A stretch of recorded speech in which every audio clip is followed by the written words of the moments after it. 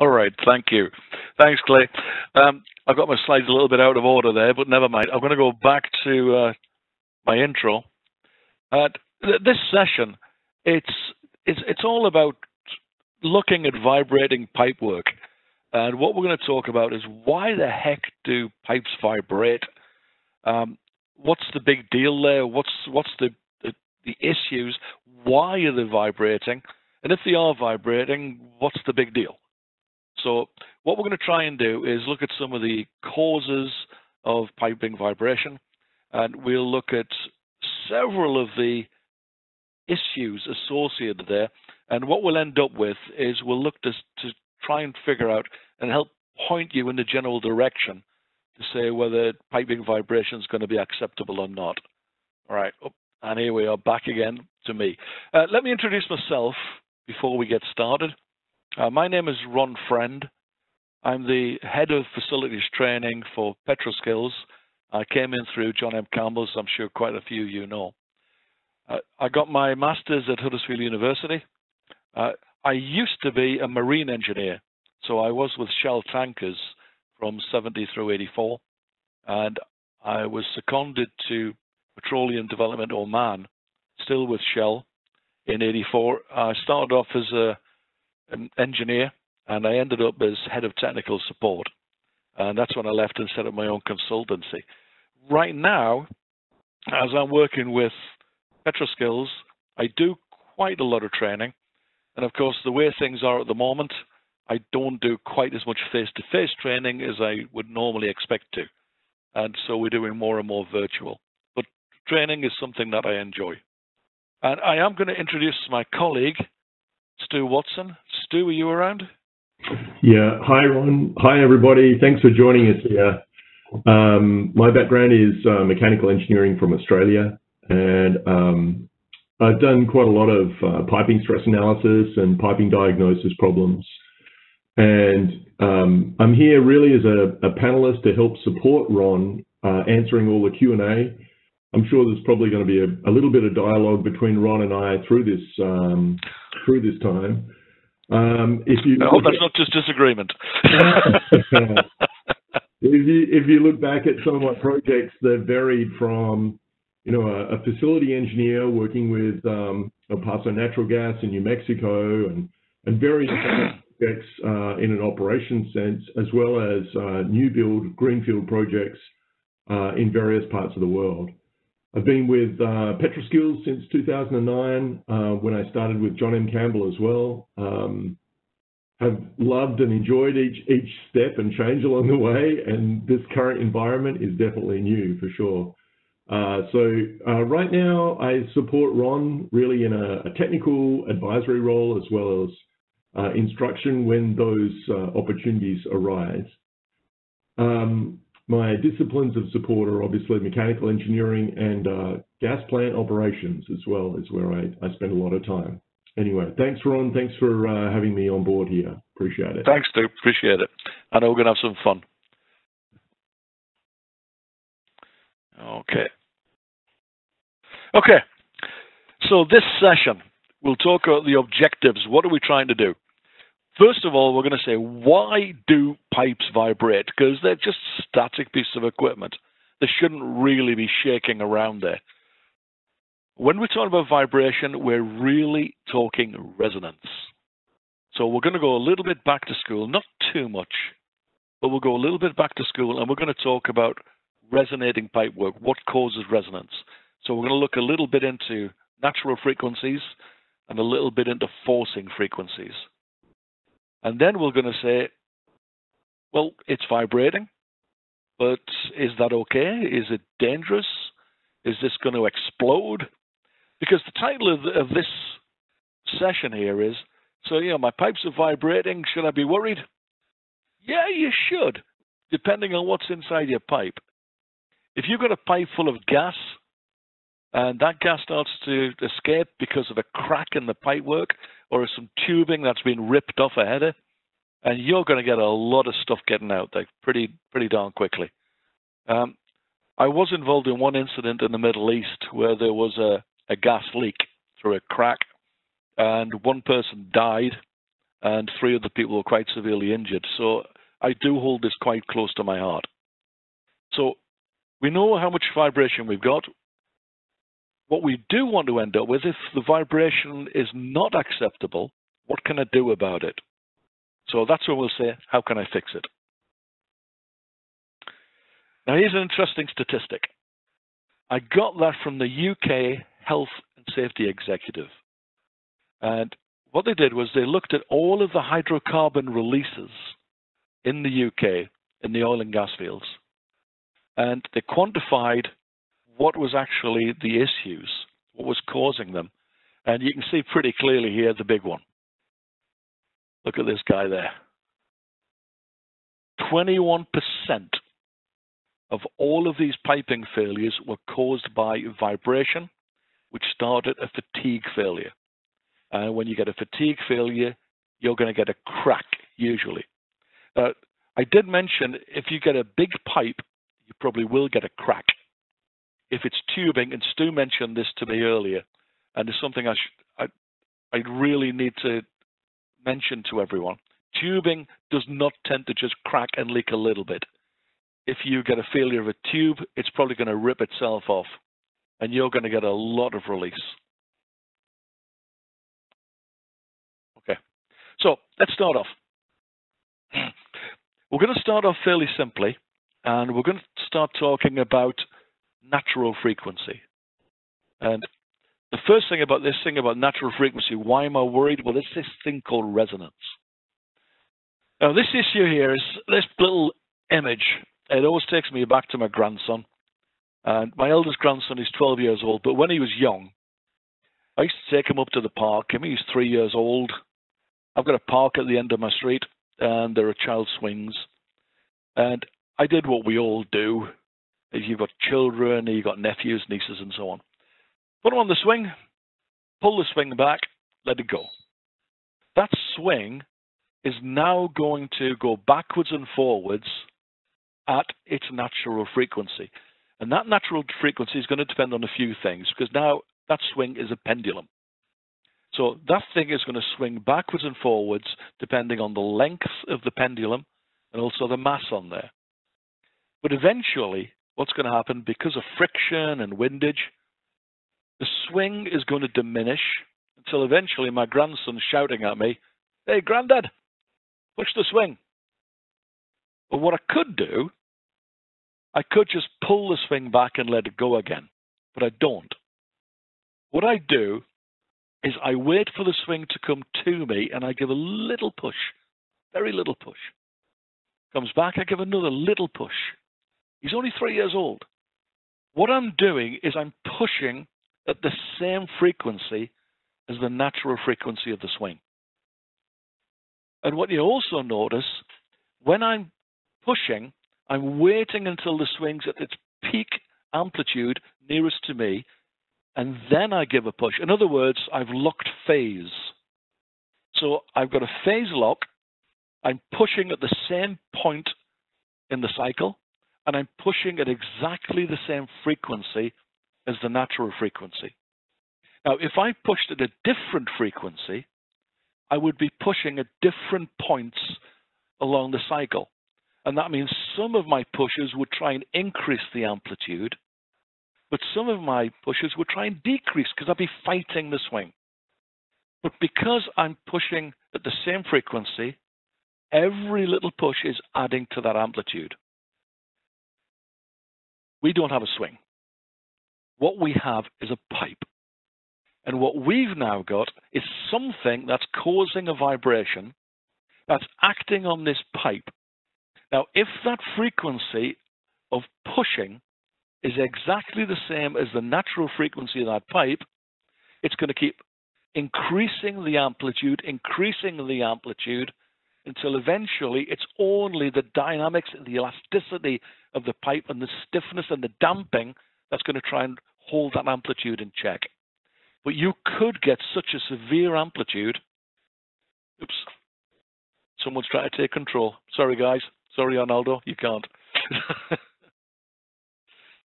so, ah. Sorry, guys. I don't know what's happened there. I've just lost my uh, my screen. There we, are. there we are. We're back again. Okay. So what's happening? We're pushing at the same frequency as the natural frequency. And because I'm pushing at the same frequency as the natural frequency, the amplitude is going to get bigger and bigger and bigger. As the amplitude does get bigger and bigger, the stresses associated with that swing are going to be so high that we're going to induce a fatigue failure in the pipe, possibly. Okay, let's move on. The first thing I want to do, because I'm an engineer, I want to be able to calculate what is the natural frequency of the pipe. Now, we're going to do this in a fairly simplistic way. And we're going to do this by assuming that the pipe is a beam. And that's, that's fine, that's good, because the pipe is a beam. The pipe is a beam, but instead of having an I section, it has a circular section. That's okay.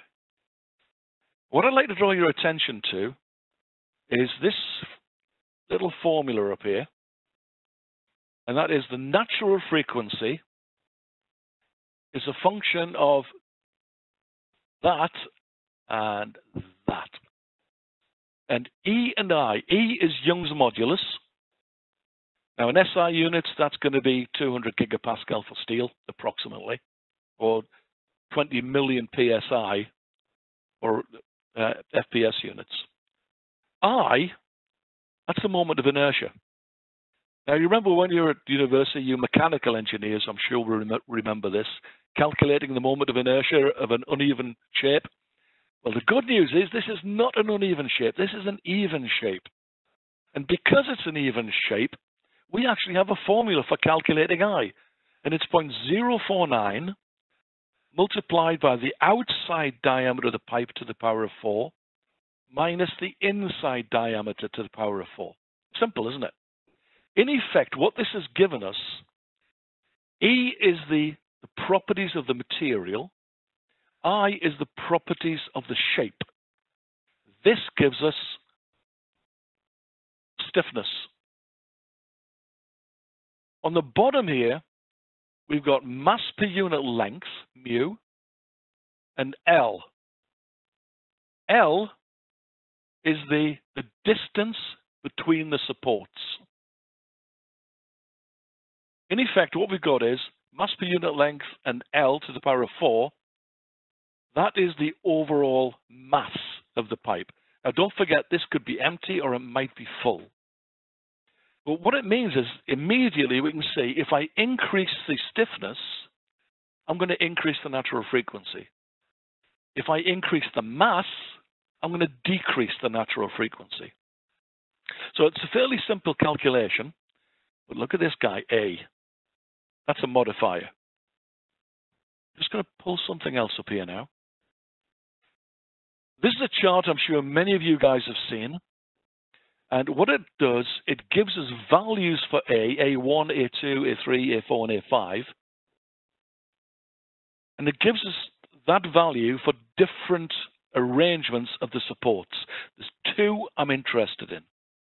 One of them is a simply supported arrangement.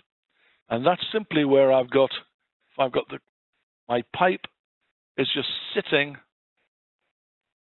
on a simple support like this. That means the pipe is allowed to move in either, in either direction. The other arrangement I'm interested in is clamped clamped. And that's something like this. This is where I've actually got a clamp on the pipe. What this is doing, it's restraining the pipe at that position where the pipe's being held. So you're going to get a different frequency of vibration. In effect, it's made the pipe stiffer. And if we make the pipe stiffer, we increase the natural frequency. The other type of arrangement is uh, simply supported, and this is just where I've got a pipe just sitting on a, a simple support. And now the pipe can angle, it's not as stiff, the natural frequency is going to be lower. So if we do one example, using the same formula, We've got a, a section of 12-inch pipe, 300 millimeters nominal. Um, we've got clamped supports, 7.5 meters apart, 24 and a half feet. The pipe's flowing fresh water, what's the natural frequency? And it, it's pretty straightforward. We can look at, as long as we know the schedule, we know the OD and the ID. Once I know the OD and the ID, I can calculate the mass of steel in that pipe. And I'm going to do this, in this case, because it's metric SI units, I'm going to do this for one meter. And all I do is I calculate the volume of the steel. A steel's got a density of about 7,500 kilos per cubic meter. So if I know the volume, I know the pipe steel weighs 132 kilos. At the same time, I can calculate I, because I know the outside diameter and the inside diameter, and that's my value for I. What I can now do, I just go back down, I calculate my natural frequency, I plug these numbers in here, and I end up just less than 35 hertz. But this pipe is full of water. And if it's full of water, I now have to take the mass of the water into account as well. So I take the mass of the steel plus the mass of the water, and that gives us almost 200 kilograms per meter. Again, plug that in, and guess what? No surprise, we find that the natural frequency is less because we got increased mass. Increased mass gives us a lower frequency. Now, this is not just a university or a college or a school project. This is something you guys are going to have to do for real. But be aware that this is the easiest case. This is simple. If what we're doing now is we're calculating the, the beam frequency, this is a beam on its own. In real life, your pipe work could be attached to uh, T's, could have valves in there. It's going to be more complicated than this. So you're probably going to need software. But for now, this is something that can get you going, and it's a nice, simple start. So the learning points for this are mechanical natural frequency increases with stiffness, and it decreases with mass. Okay, let's get moving. So what we've got is we've got a pipe with a natural frequency. And we have said that resonance is when you've got a natural frequency and a forcing frequency. Well, the forcing frequency now is what I'm interested in because I know the natural frequency. This could come from my running equipment, could come from vortex shedding, it come from, could come from acoustic. And we're going to look at each of those in turn. And this, I think, is where most people are interested. So let's have a look at your rotating equipment. Uh, there's, I, have brought up a, a, list of different possibilities here. This is by no means a complete list, but it is an interesting list. And what I'd like to think of first is look at this electric motor driven. If I've got an electric motor drive, and I'm usually thinking of an induction motor, the speed of the induction motor depends on the frequency of the supply and how many poles are in the motor. So just for example, if I've got a four pole motor and I've got a 60 hertz supply, this will try to run at 1800 revs per minute. That's if you've got a 60 hertz supply. If you've got a 50 hertz supply, it will try and run at 1500. But you've also got something called slip. That means your motor will not run at exactly 1800. And if you look on the nameplate, you'll probably see that there's a, a speed on there, a rated speed, but that's a full load. Your pump or your compressor will not run at that speed. It will run somewhere between the electrical frequency, and 1800 RPM is 30 hertz, so somewhere between the electrical frequency and the full load rated speed. Now, you don't know exactly what it is until you check it, but you can make a bit of a guess. Uh, interesting thing we, I did here, I just did a little quick calculation on 1700 RPM. Convert that into hertz, it's 28.33. Hey, guess what? Natural frequency in my pipe, which is full of water, is 28.35. You can pretty much bet your bottom dollar that thing's going to be vibrating like heck. But the thing is, that is only the speed. Where the heck is this force coming from? Well, this is where we go down to the rest of this list. If you've got an unbalance, you will get a vibration at run speed. So one of the things you might want to think about is if I do have a, a high vibration coming from my pump, from my compressor, maybe I need to get it balanced. It's not a long-term solution because getting the fan or the pump or the compressor balanced will give you a short-term fix. But eventually it's going to go out of balance again and you're going to get resonance back. Uh, misalignment will give you vibration at run speed, but also harmonics of run speed, 2x and 3x typically. If you've got something loose, maybe a bearings loose in the housing because the, the housing's a bit worn because of age, you can get harmonics all the way up to 10x. You could have pulsations, particularly for reciprocating compressors. That's a big one. But also, don't forget, any sort of positive displacement piece of equipment, particularly reciprocating positive displacement, will give you pulsations. Uh, if you've got a centrifugal pump and it's not running at best efficiency point, you are going to get vibration from vane pass frequency. If you've got a variable speed pump and this, this thing starts maybe on auto and it's just hanging there at low speed, there's a good chance you're going to get vibration from that too. And that could be exciting the low frequencies. And don't forget, if you've got two machines running together at what look like the same speed, maybe you've got two pumps side by side, two compressors side by side, they won't run at exactly the same speed. There'll be a very slight difference between them. That will induce a beat frequency. And even that can cause problems. Man, life is difficult. so be particularly wary of variable frequency drives because that can, can come in and out of that natural frequency range. So learning point for this is you, you're forcing frequencies from rotating equipment come from the speed and the physical properties. And a lot of the time, when I say physical properties, that could actually be a defect. Okay. Now, something of interest to a lot of folks. Vortex-induced vibration. Now, this is quite interesting. Um, there was a, a, gentleman quite a long time ago called Karman. And Mr. Karman, who was a professor at one of the universities, can't remember which one, but Karman did do a lot of research on, on oscillations caused by flow going across a section. Now, you've all seen something like this. You look at a windy day, and you look outside, and what you find is maybe one of the street lights is moving from side to side. That's being caused by this guy here. So imagine that this is that, that street lamp. So we're looking vertically down on the circular cross section. The wind is coming in that direction.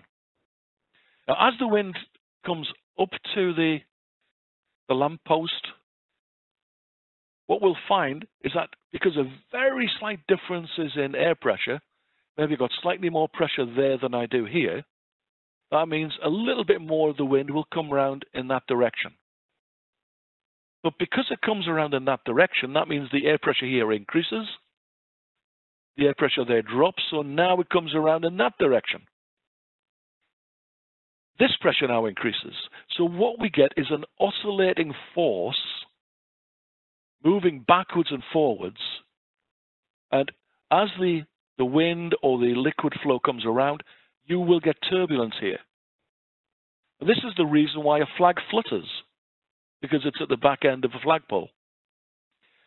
Now, you might find that you can see this happen on a pipe, and I've seen it happen, um, particularly on vertical pipes or long stretches of horizontal pipes. But you can calculate it really easy.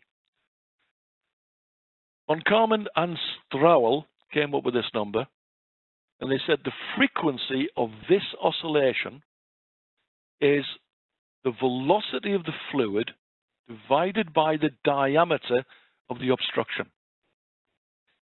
There's a constant there to make this work, and that's called the Strouhal number. Now, normally we can use 0.22. Oops, sorry. Now, if I use 0.22, that means I can easily calculate what that frequency is. Now, just be careful of the number. Um, the actual Strouhal number does vary a little bit with Reynolds number. But if you're working anywhere between about 100 to even up to a million uh, Reynolds number, this 0.22 works for a circular cross section. Uh, other cross sections don't have exactly the same, but for us, because we're working with pipes, pipes tend to have a circular cross section, so I'm okay. So, for example, if I've got wind blowing at 20 meters per second over a 600 millimeter pipe, 20 divided by 0.6 meters, Strouhal number 0.22, 7.3 hertz. Easy. Practical application of this. There was a, a problem in Alaska. In Alaska, the pipelines uh, tend to be above ground because of the frozen, uh, the frozen earth. And what was what was found was that there was a lot of vibration on the horizontal pipelines. And in fact, this is a trace. This was done by a company called SSD in Reno, Nevada. And they did a research on this. And what they found was a vibration amplitude, and this is in inches. So from plus 0.1 to minus 0.1. So you're getting a displacement, a physical movement of that pipe of two tenths of an inch. Now, what they did, they devised a hanger system, and the natural frequency of this hanger was exactly the same as the natural frequency of the pipe. By putting something on there with the same natural frequency, this tends to move in the opposite direction and it dampens the vibration down. And this was the end result. So it's not the end of the world, but if you do go to Alaska and you see these weights hanging off pipes, that's why they're there. But what about inside the pipe? Uh, I've just taken an example of a gate valve with a non-rising stem. Um, you could have the same thing with a butterfly valve or a thermal well. And you've got flow going along here, and the flow goes around the stem. If I've got a 35 millimeter diameter stem that flows at 5 meters per second, my Strouhal number stays the same, 5 meters per second velocity, 35 millimeter, 0.035 meters of the pipe, uh, the stem diameter. That gives me a frequency of 31.4 hertz. Now, this could be problematic because we've already seen with some of the calculations we've done already that this could be right in the range where we could have problems. So, this thing about vortex-induced vibration is a function of fluid velocity and the diameter of the obstruction. Okay, that's what a think about acoustics. Oh, have a drink of water. Okay. Right, this is going back to school, isn't it? This isn't even university. This is high school. Remember from school? C equals F lambda. C is the acoustic velocity, the speed of sound. Now, in air at sea level, normal pressure, that's going to be about 330 meters per second. But if we're talking about speed of sound, that means that sound is traveling. Now, as I'm talking, the, my voice box is vibrating. That's what's causing the sound. So as my voice box vibrates, it hits air molecules. And those air molecules impact air molecules in front of them. And that impacts other air molecules. In fact, what we get is an area of high density in an area of low density. So to go from the one area of high density to the next area of high density, we call that the wavelength. As I'm speaking, the air is not traveling out of my mouth at 330 meters per second. That would be really unpleasant. But what is happening, that hammering effect of the air molecules against each other, that is happening at 330 meters per second. Now, if I'm sat in my car at the traffic lights, lights are on red, my engine's running, The car's making noise.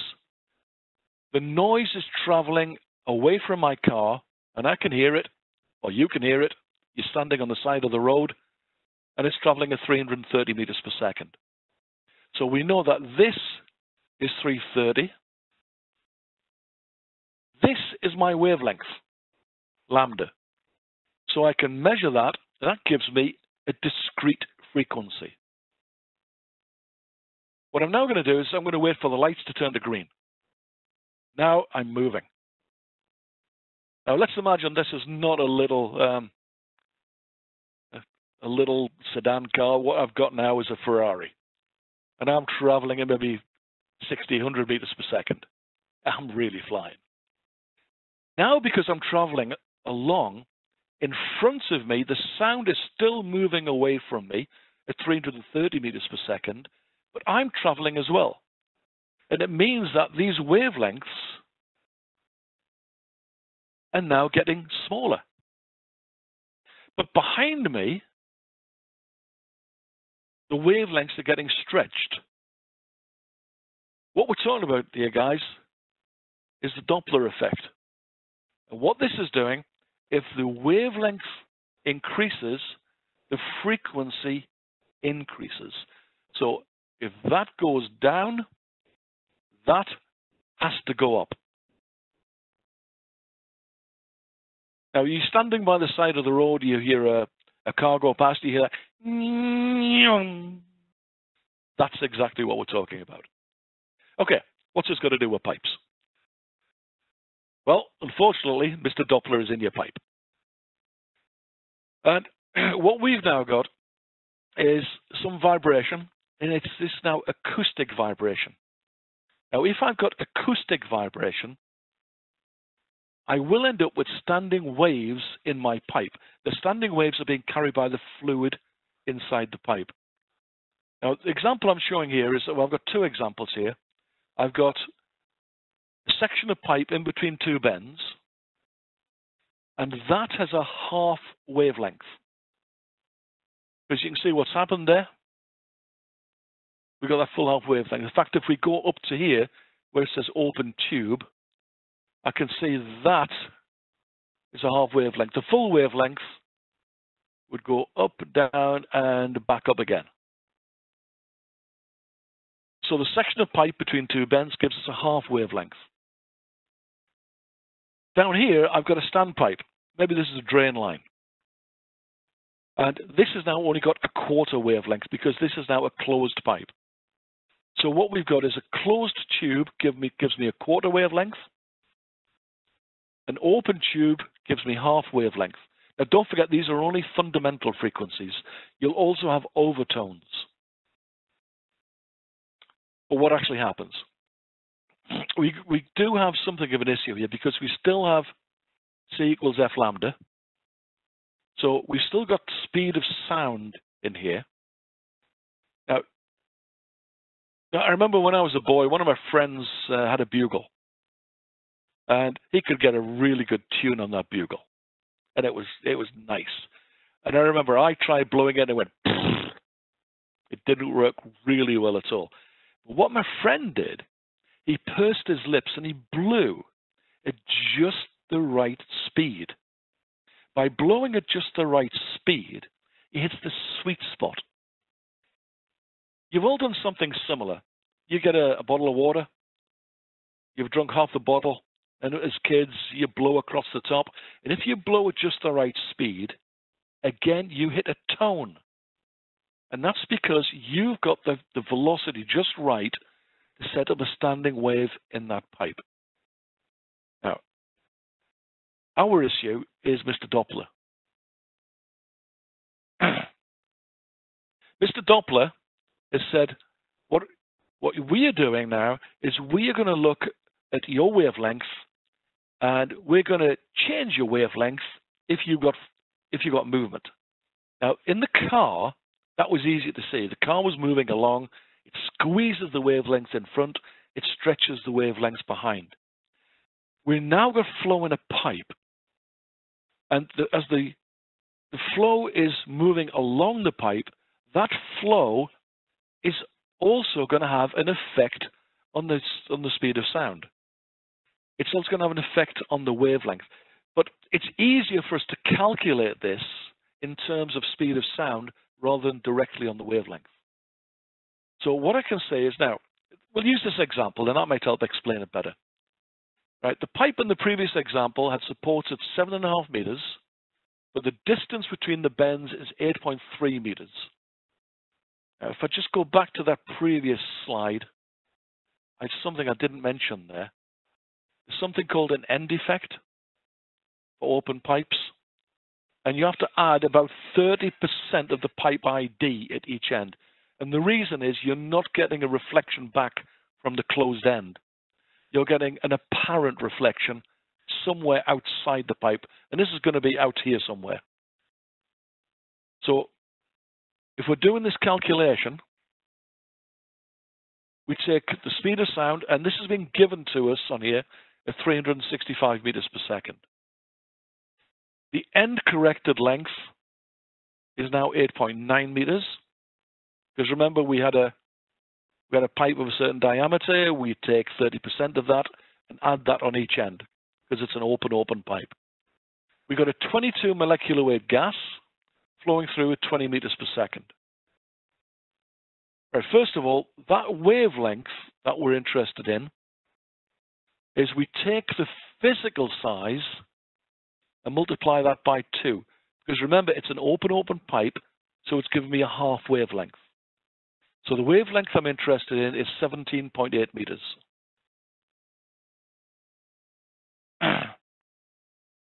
okay, so the frequency that that's going to give me, 365 meters per second, which we had up here, divided by the wavelength is 20.5 hertz.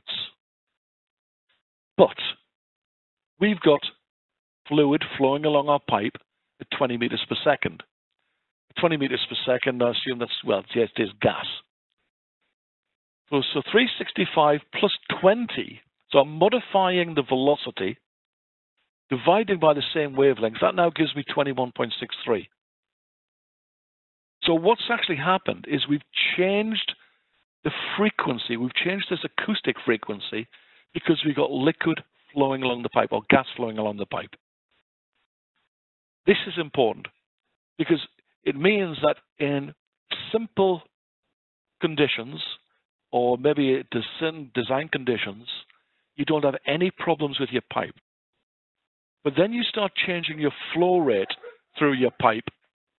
And as you change your flow rate through your pipe, suddenly the thing starts to vibrate. And if you start getting this sort of frequency to be the same as your mechanical natural frequency, you've got resonance. So you know, I often get people asking me, you know, what's the issue? I had this system here for ever since commissioning. I had no problems with it. But then we just start increasing the the output by another five percent, and suddenly this pipework's going crazy.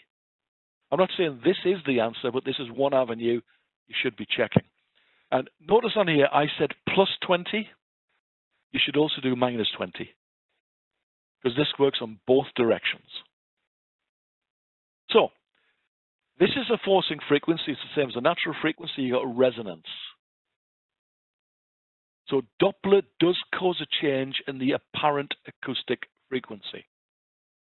Uh, the question you should be asking now is the resonance of what?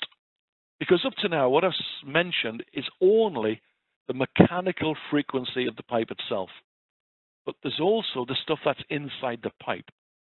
And if you got gas in that pipe, well, gas is compressive. It acts like a spring. If you push against the spring and release, the spring rebounds, so does the gas. If you keep pushing at the same frequency as the rebound frequency, you've got resonance. Now, we do have a little formula here. What I'm going to do is I'm going to take this thing here. The natural frequency of the gas inside the pipe is the square root of the elastance divided by the inertance. Now I've skipped over these. Let's go back to them. What is the elastance? The ratio of pressure and volume. Think stiffness. Now remember when we calculated the natural frequency of the beam? We said the natural frequency is a modifier times the square root of the stiffness divided by the mass. Stiffness is on the top again, but now we call it elastance. On the bottom here, we got inertance. Inertance or fluid reactance is a measure of the pressure difference in the fluid required to cause a unit change and the rate of change. All it means is, look, what's the density? What's the length? What's the area? This is the resistance. This is the thing that's stopping it trying to vibrate. So all we do is we calculate the elastance and the inertance. All I need is the ratio of specific heats, the pressure in the pipe, the volume in the pipe, the density of the gas, the length of the pipe, and the cross-sectional area of the pipe. You've got all that. That's easy. Let's do an example. Right, the pipe in the previous examples has a distance to the bends at 8.3 meters, which gives us end corrected length of 8.9. We still got a 22 yeah, we still got a 22 molecular weight. Oh, this thing's gone crazy. Sorry, guys.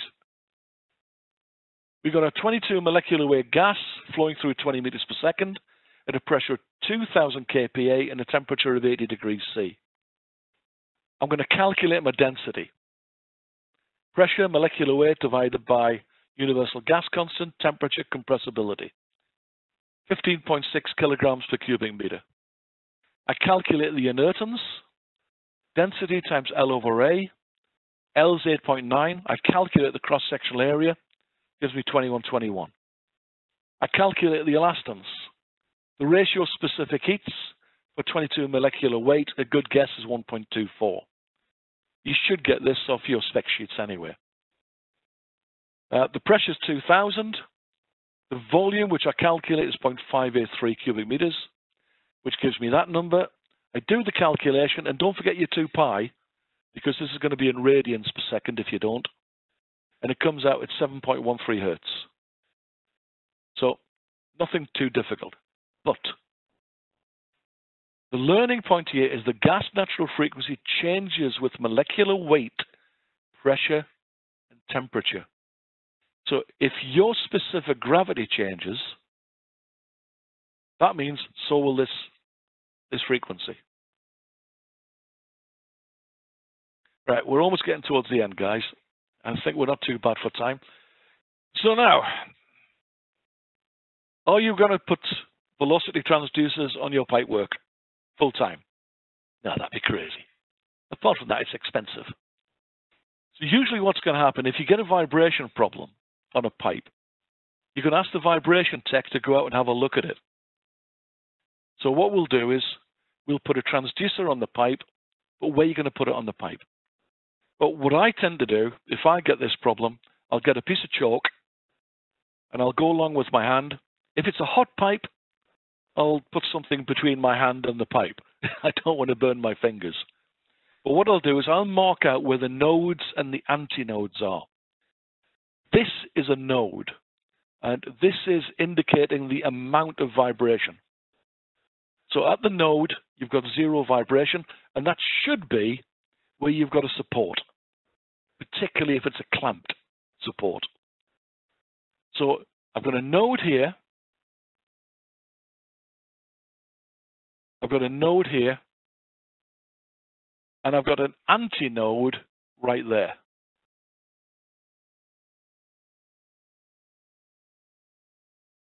And if I want to measure the maximum amplitude of vibration, that is where I'm going to place this guy. So I'm going to measure the vibration where the vibration's highest.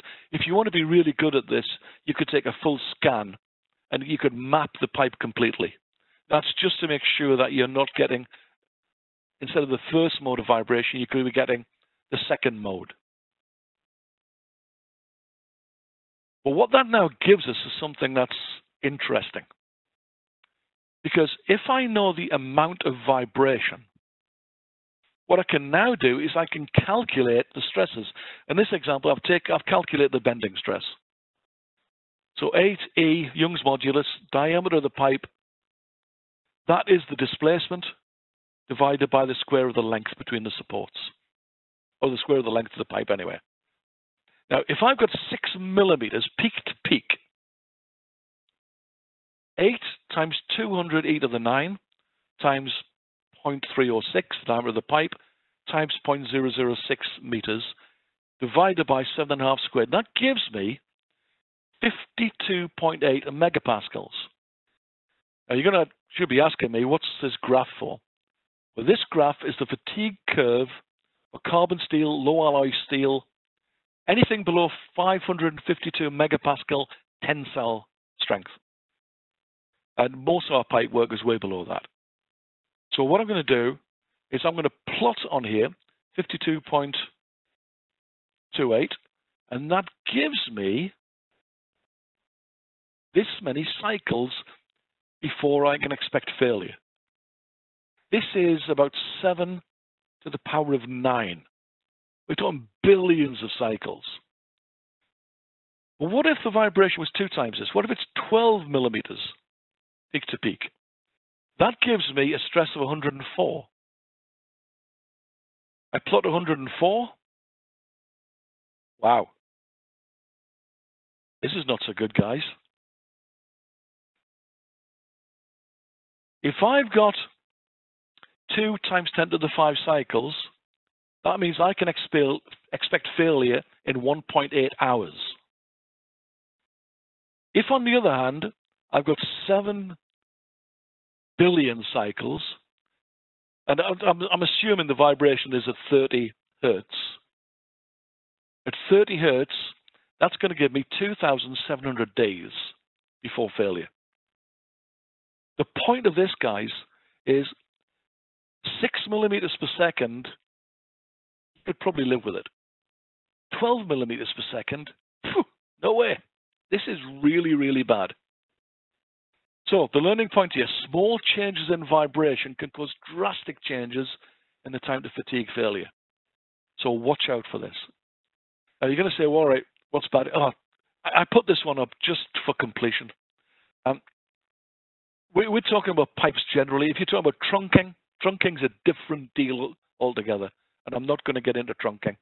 Um, but just to let you know, I've not forgotten about it, but I'm not going to deal with it.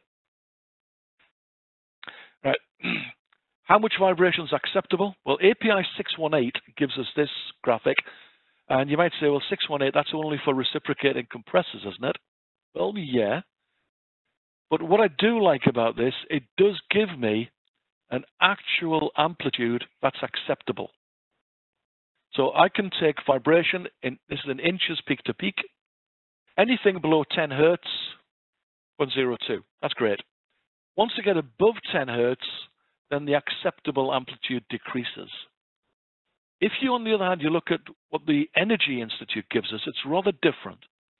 The Energy Institute allows us to calculate a vibration damage factor. But the thing is, even though it looks rather different, it's still very, very conservative. Remember, we calculated 6 millimeters per second peak to peak would give us you give you a life of 2,700 days. That's years. That's very, very conservative. This is different, but it is also conservative. Okay, we're just about to finish up here, guys. So, what can I do about it? Well, if it's a mechanical resonance, go for the obvious stuff first probably, if it's a mechanical resonance, it's probably going to be caused by a piece of running equipment close by. In fact, I would say more than 90% of the time, that's where I've actually found was the problem. And that's fairly easy. If you can change the running speed, great. Uh, if you can't, what you could do, well, if we were talking about changing the forcing frequency, try repairing the defect. If you got an unbalance, balance it. If it's misaligned, align it. If it's loose, tighten it. uh, if it's vortex-induced vibration, try changing the flow rate if possible. Um, you could put strakes on a pipe. Uh, this is an example of strakes on a chimney, and that's there purely just to break up the vortex vibrations from the wind.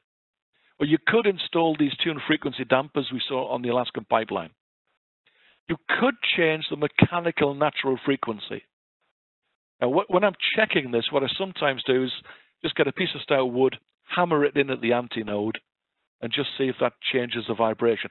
But be careful, because if you start putting support and you make it too stiff, you can end up causing more problems. So we don't want that pipe to be too stiff. We want it to be flexible, but we want it to be stiff enough. It changes the natural frequency.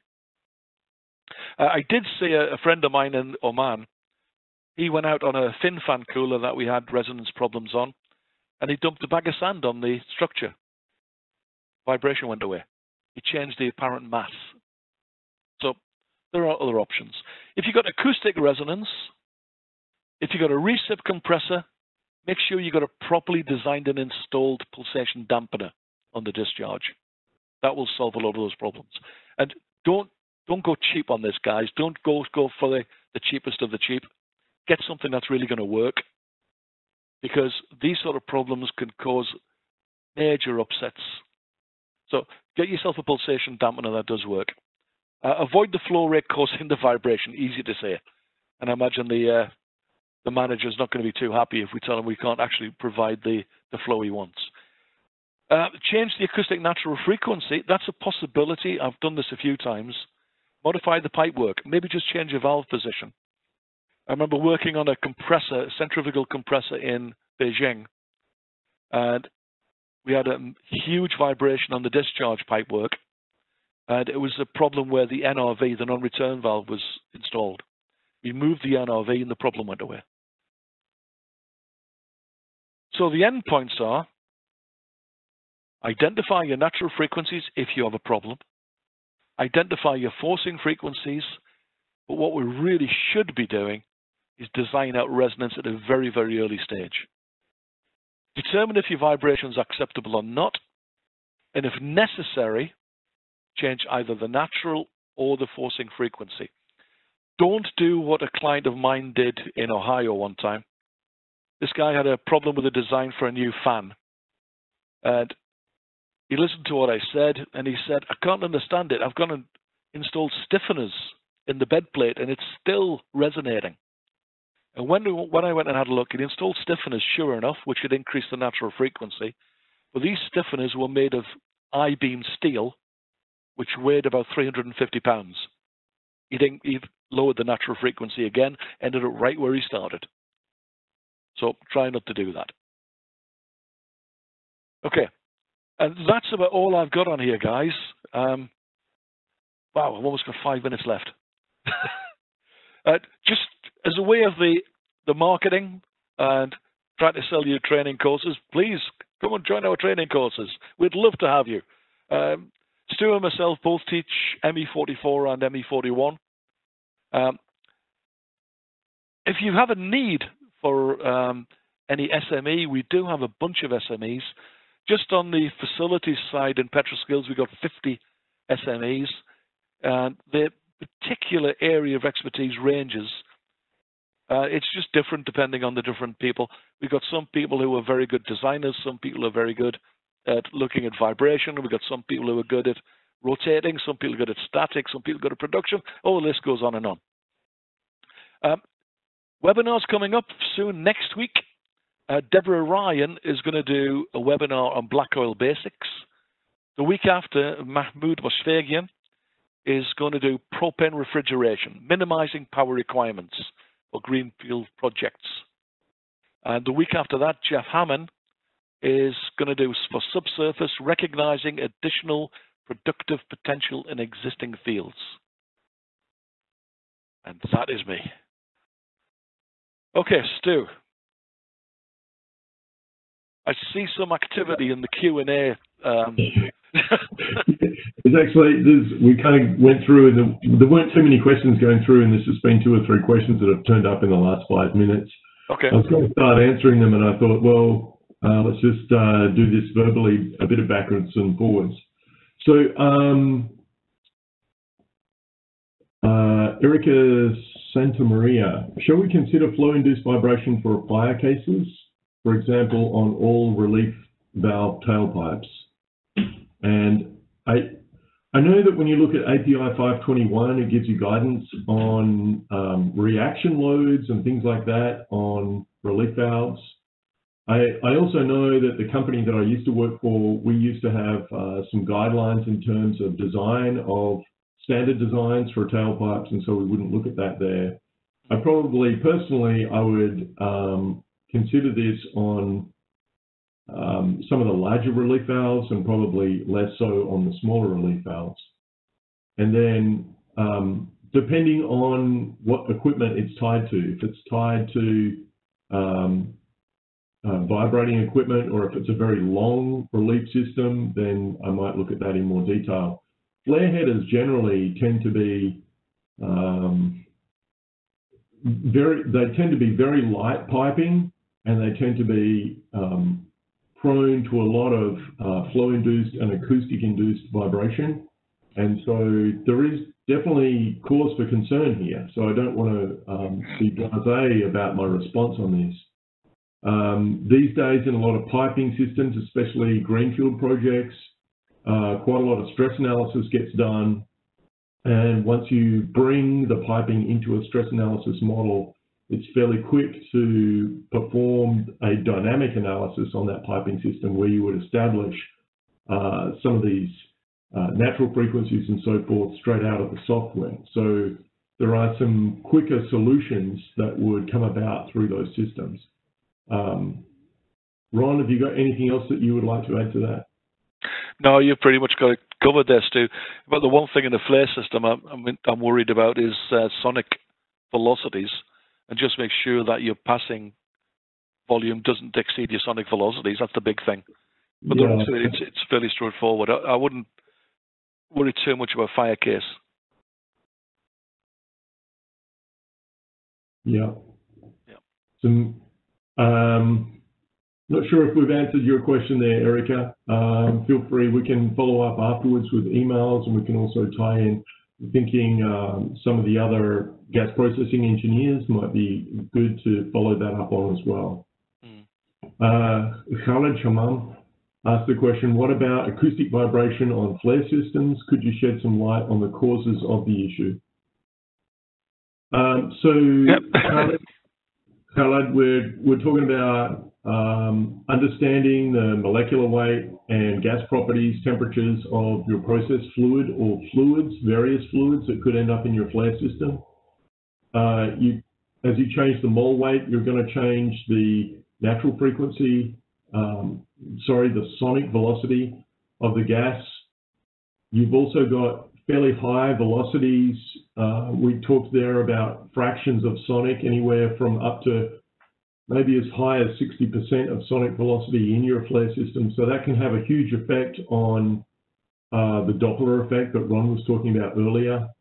And then once you understand the geometry in that flare system, uh, we start to understand the half tones and quarter tones that turn up um, in, in that flare system. Flare systems often in a lot of new cryogenic plants, flare systems are being made out of stainless steel. Stainless steel is expensive, and so quite often um, I see people going to thinner wall stainless steel. Um, as a result, that becomes more prone to um, flexibility and, and damage as a result of that acoustic induced sound wave traveling down the pipe. And that can cause some resonance and, and now when you think about a very thin wall pipe and a high amplitude uh, sound wave of varying frequencies, it becomes quite difficult to design out um, the, that problem. Uh, we very quickly get into fatigue issues because we're talking about high frequencies, while the flaring events might be quite low because we're talking about frequencies, then the, the fatigue event may come on quite quickly. And um, so it could be a blowdown that's going into the flare system that may be a significant concern. And so as we analyze those systems, trying to design them out may mean that we have to stiffen up a particular portion of the flare system. Um, I get particularly concerned when I see Schedule 10S being used on flare systems, and I also get particularly concerned when I see OLETs and branches into that flare header because an OLET is a high stiffness uh, connection onto the run pipe. Mm-hmm. And, and so that high stiffness combined with that very soft, uh, flexible run pipe, we end up getting a stress concentration right there. Um, I'm not sure I've answered all your questions there, but just kind of perhaps highlighted some of the concerns and, and issues that I've seen going on there. Ron, maybe... Yeah, there, there might be a, uh, the other thing I've seen on flares is sometimes the flares puffing. You see it, seeing that? Sometimes this is caused by, quite often it's caused by a control valve problem. But um, but this can be one of the issues that you should be looking at. You know, if you get a standing wave set up at a particular flow rate.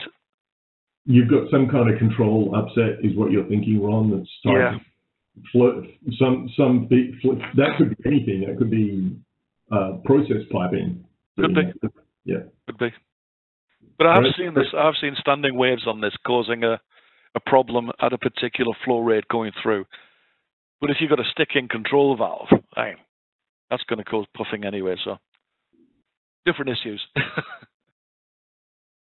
uh, Leandro Chihuahua, I'm sorry if I've butchered your name there. I'm so sorry. Uh, in case of a PSV gas relief pipe, which is undersized and has a sonic flow Mach 1, are there any additional phenomena to consider besides FIV, AIV, and reaction forces? And my, my immediate one uh, that I would be worried about there is the relieving capacity. Um, is your yeah. is your is your relieving capacity still there for that system? Because generally, if you're choked at the relief pipe, you've got a capacity issue. Um, beyond beyond FIV and AIV and reaction forces, maybe think about erosion. Um, you could have a high back pressure as well. well that's going to be yeah. going up all these other valves. Yeah. Oh, that's a good point. If you're tied into a flare system, is is that one relief going to cause problems on another part of that flare system? Mm-hmm. Uh, Gabriel, is it a correct in, inference to say that vibration induced into high pressure gas line flowing wet gas will be higher than similar pipeline flowing dry gas? Um, vibration induced into high pressure gas flowing wet gas. Wet gas, um, as you change your molecular weight, uh, your sonic velocity should be going down um, as compared to dry gas. And when we're talking wet gas and dry gas here, I'm assuming that we're talking hydrocarbon wet. And so there is an increase in mole weight for wet gas versus dry gas.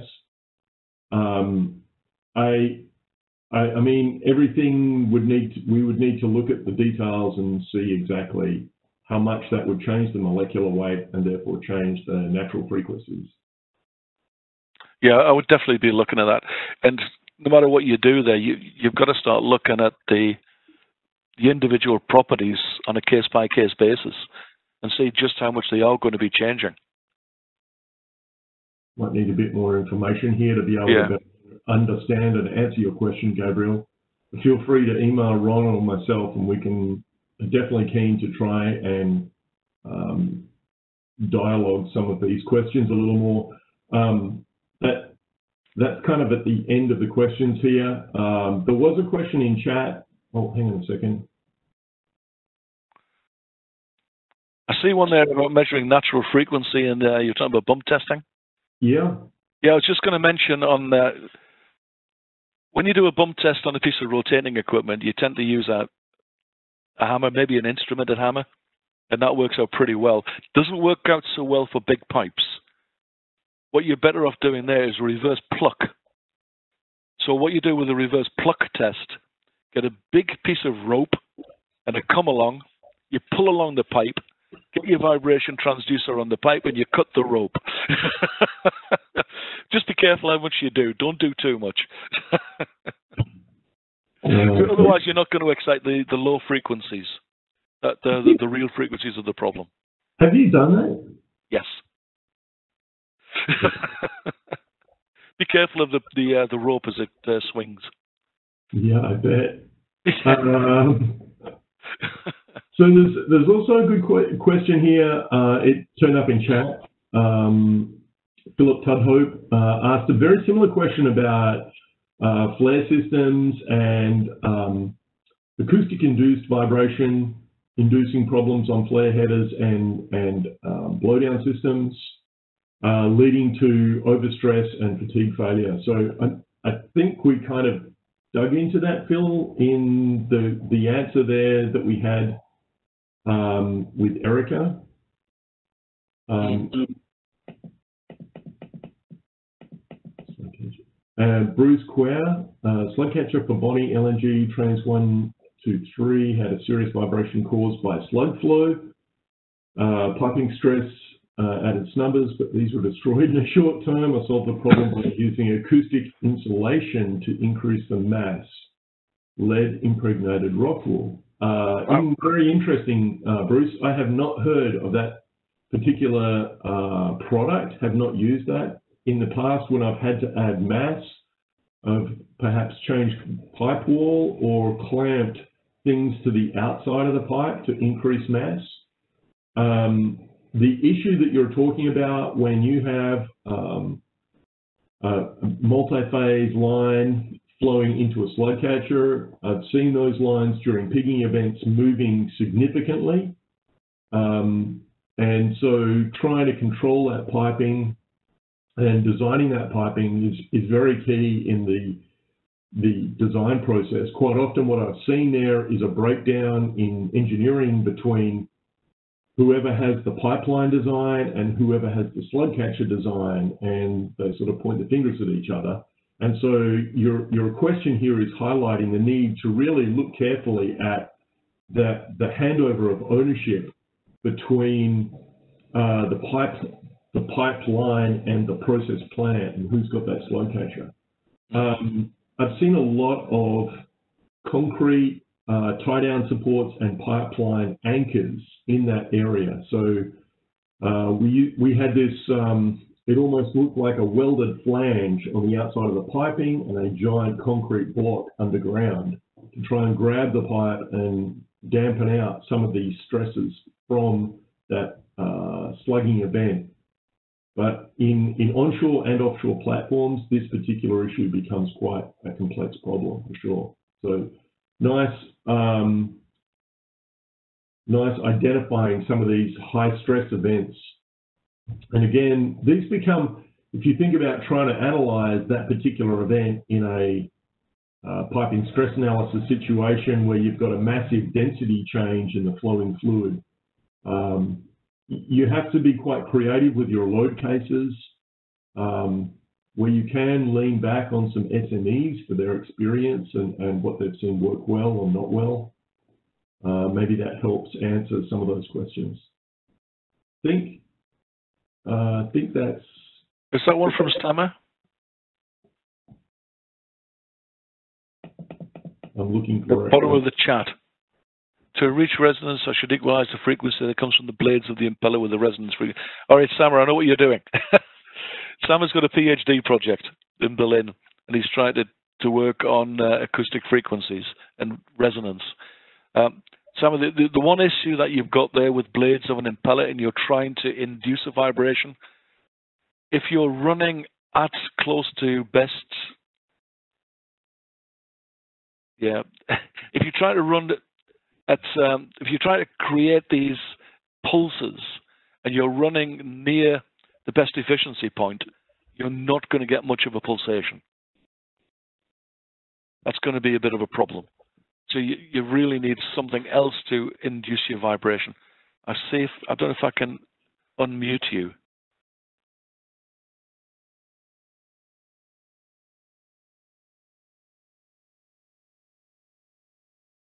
I can't. What's someone else saying? Some privileges? The other aspect of vane passing frequency there, Ron, is always the, the tip to casing clearance. And so um, if you can reduce, you know, if you're trying to create that vane passing frequency. That's the point. That's a good point. I came across that once in a in an aluminium plant, and uh, there was cake out on the on the volute, and we did have high vib- high pulse vibration that way. Good point. Yeah, that that might be something worth looking at. So the, the tip clearance on the impeller, uh, the cross blade, the actual blade um, clearance to the casing. And I think API 610 gives you guidelines on what you should have there. so just just don't do what API. and I'm sorry, I can't unmute you, uh, Sama. But but please, uh, I'm, and I'm not seeing that question, Ron, because it might be to you directly. But Uh, maybe, yeah.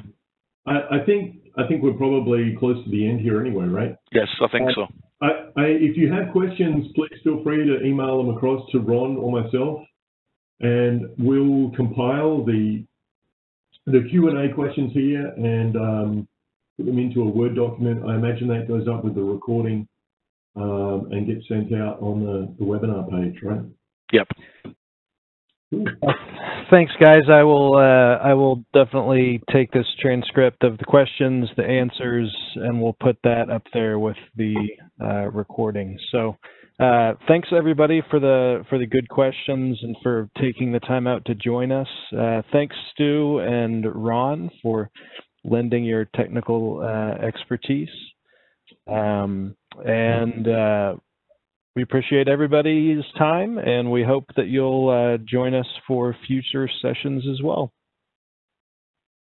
My pleasure. Thanks, guys, for joining us. Really enjoyed it. Yeah. Thank you, guys. Appreciate it. All right. Stay safe, everybody, and take care. You too. Bye.